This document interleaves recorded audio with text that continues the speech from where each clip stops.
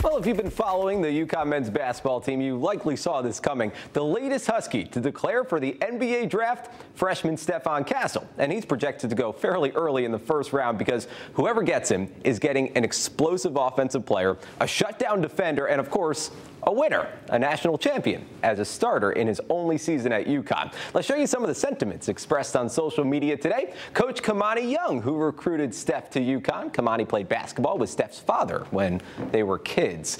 Dan Hurley also posting no freshman impacted winning like this champion. His combination of talent, work ethic, and humility, and great parents.